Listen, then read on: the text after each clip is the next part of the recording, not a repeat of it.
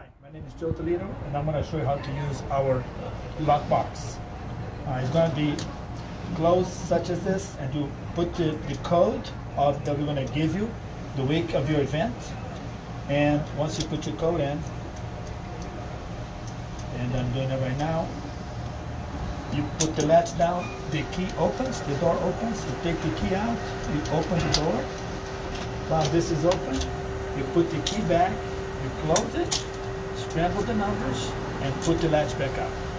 Now you can do this, boom, lock the door open, and you can walk in and fill out the papers. Thanks for watching.